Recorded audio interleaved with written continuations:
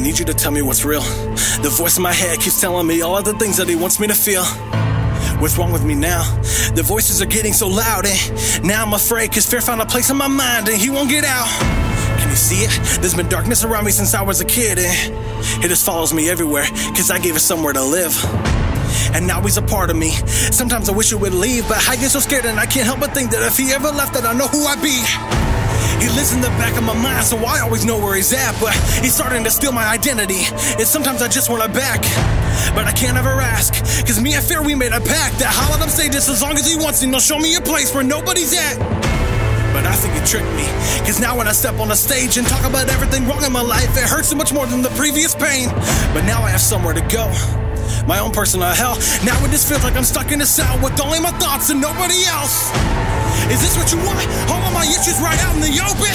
You want me to get on a stage and take off my mask and tell them I'm broken? Let's do it then. I'll do it right now and then I want you out. Now shut up, Brandon. Don't open your mouth about things that you don't know nothing about. You want me to leave? Pack up my things and get out of your mind? What about after the show, huh? You think everything will be fine?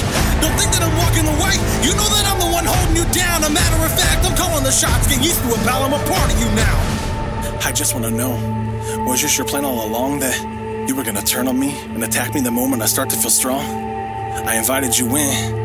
That was foolish of me, cause I had forgotten the fear is a liar, and you were never gonna leave.